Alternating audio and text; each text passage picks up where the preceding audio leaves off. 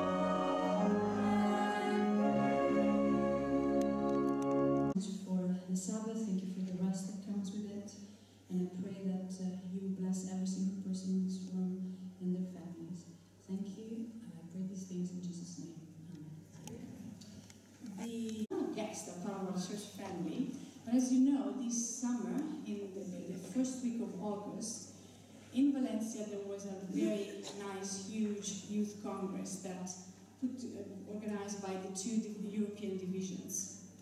And uh, I was there. It was very good to be there, full of young people. The buzz, the energy was incredible, and it was very nice. Everybody said, "Oh, young people church," but it was very nice to see young people there worshiping and attending attending workshops and um, getting to know each other from different countries. So. This morning we have two people, Kat and Tihi. Can you come up?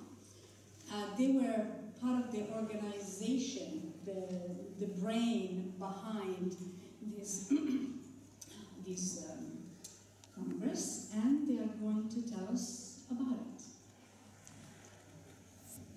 Thank you, Serena. So this is possibly the largest youth congress that we ever had in Europe. Um, it was over 4,000 people actually sleeping there and being there for the weekend, almost reaching 5,000 people, 5,000 young people uh, from all different countries in Europe.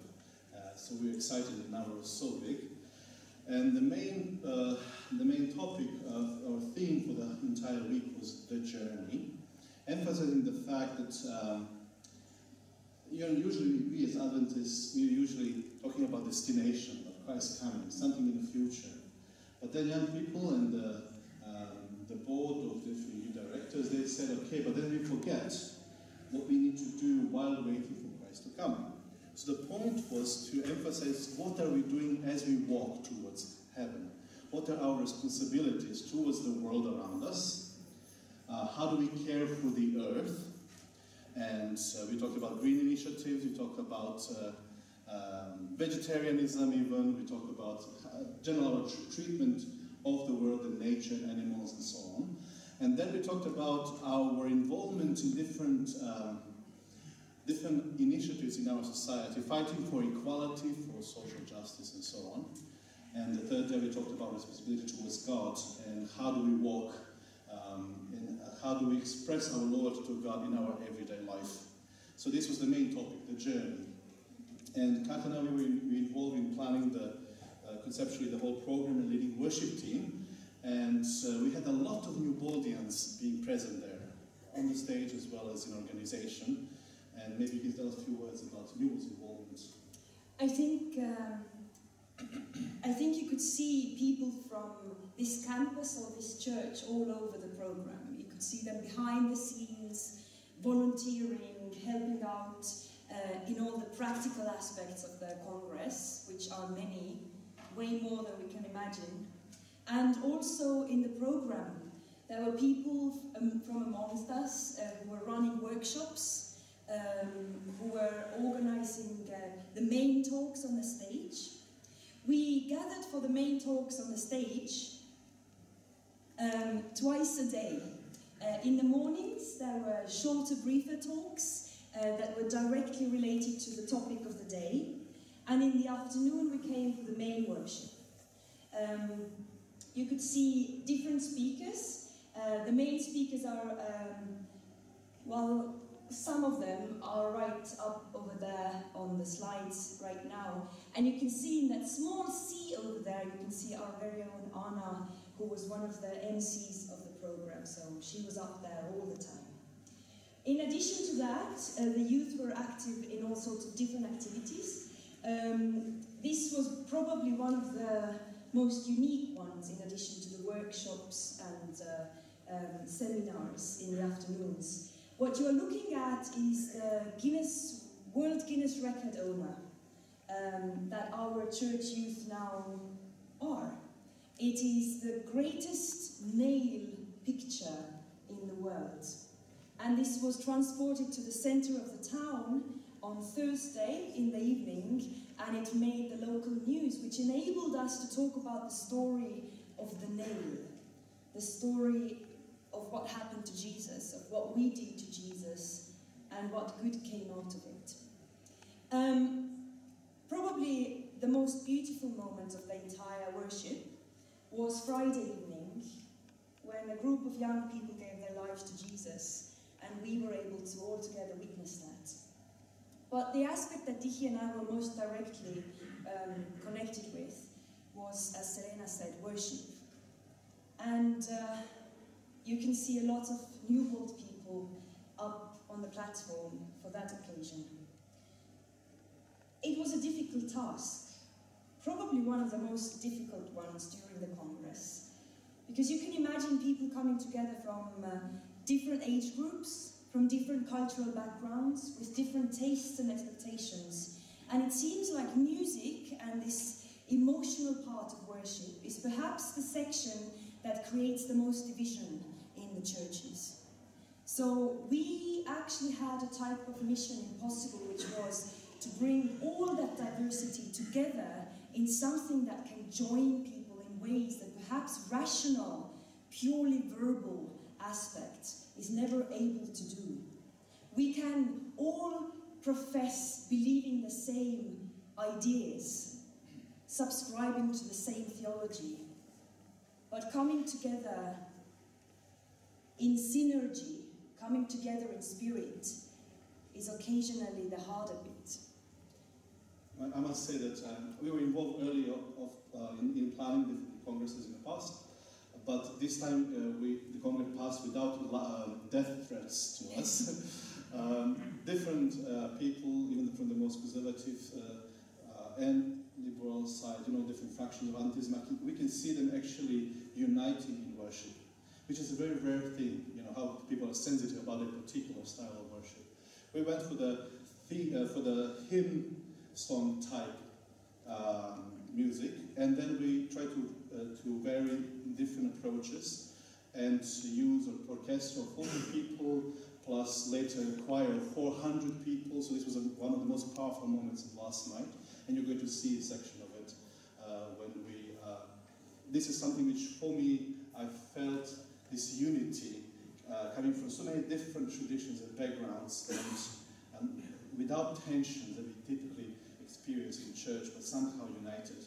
And it was uh, a miracle from God, if you ask me.